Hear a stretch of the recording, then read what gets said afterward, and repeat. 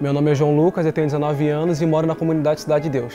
Então eu vim fazer o ímpar quando eu tinha 17 anos, começando com informática básica, e logo em seguida dei sequência para mais alguns outros cursos que estavam disponíveis. E basicamente aprendi toda a questão do pacote Office básico, né? PowerPoint, Word e Excel. Antes de conhecê-los, eu era uma pessoa muito calada, muito tímida, não conseguia me comunicar com as pessoas.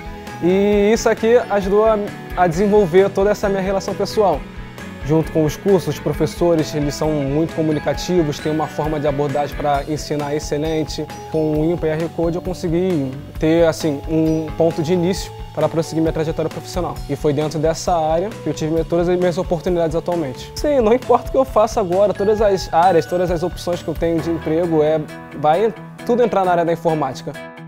Eu sempre tive uma opinião muito forte para os alunos aqui do IMPAR que aqueles que entram aqui querendo o crescimento, aproveitando as oportunidades, eles vão acabar chegando lá.